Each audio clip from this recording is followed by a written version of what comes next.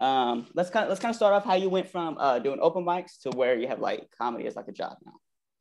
Um, so I started really young. I started when I was 16 and I was living. I was in Jersey clearly with my folks and I would come in on the weekends on New Jersey Transit into the city and I did anything I was capable of doing. I got kicked out of a lot of clubs because I was really young and I still look young, so it was it was definitely worse when I was a teenager.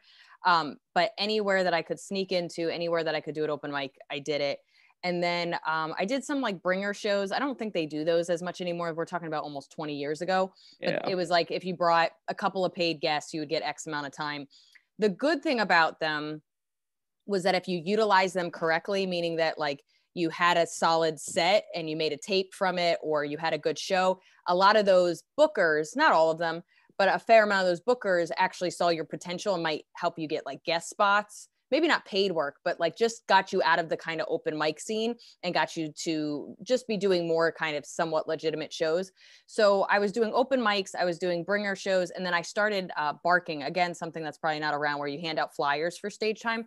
Okay. And I did all of it. Like when I was when I was in high school, I would do it just on the weekends, and then when I moved to New York when I was 18, I was doing it every single night probably anywhere from two to four shows a night depending on you know weekdays different. So i was doing up to like 15 shows a week.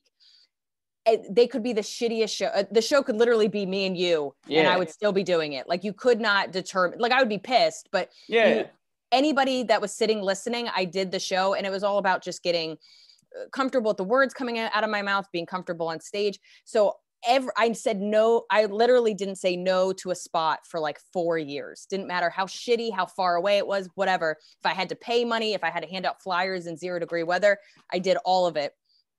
And through that, I just got um, really comfortable and uh, and I'm I'm very much a um, I wouldn't say I'm a perfectionist, but I definitely have OCD and I have this like I'm, I was just always thinking about the jokes and always making them better. So if I had a show at eight and one part got a laugh and another part didn't, by the time I did my 10 p.m. show, I've changed something about it so that it was stronger. So that if I did a midnight show, it was even stronger. So imagine if I it got stronger in a night, it would get super strong by the end of the week if I'm doing 15 shows. So I was constantly editing and whatever. And I think that the the diligence of getting comfortable on stage, constantly rewriting and getting my jokes stronger, I just kind of push through the open mic scene, I think, a little faster than others. So I would say by the time I was 19, I was doing bar shows for free. So sadly, open mics is you lose money, and then yeah. bar shows is like just to show up and tell jokes, you're like, I'm winning. Yes. And then by the time I was 19, I got passed at most of the comedy clubs in New York. And by passed, it means you get paid spots so I'm not doing weekends, but like yeah. at 19, I was doing Tuesdays for $25, which again, for yeah. like a 19 year old that never even thought anybody would care about them, it was a big deal.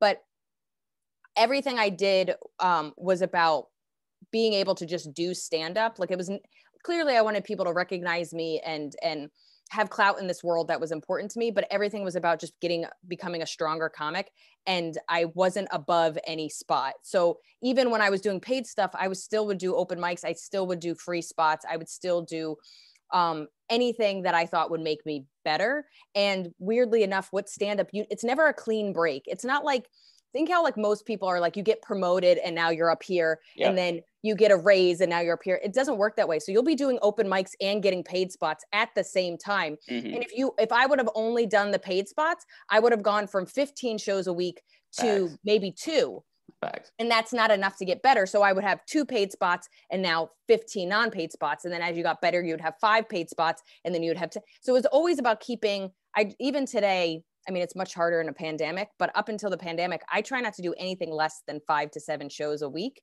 just because I'm always creating.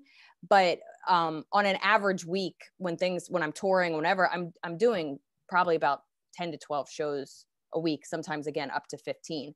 Uh, different varieties. Sometimes I'm headlining, sometimes I'm doing 10 to 15 minute spots. But I think the biggest thing is people, you can't look at comedy as if I'm I'm here now, therefore I don't have to do these shitty shows. The shitty shows still have value. Mm-hmm. So the shitty shows are where I do my new material. The paid spots is where I'm just like a pro. and every joke hits. So um, even after I started getting paid, you know, I was hosting and then I was featuring a couple of things, but I was mostly hosting. And then I got to feature and I would headline a little bit, but I'm still mostly featuring and headlining a little bit too. So it's it's never this like you're a headliner now and you'll never yeah. have to do a shitty gig. I'm still doing free spots because that's where I try out my new stuff, but then I'm also headlining around the world. So it's I think that's the biggest thing is that this this jump is it's not it's it's it's not seamless. It's clunky and it's about how much you want to work and I've always wanted to work maximum amount as yeah. possible.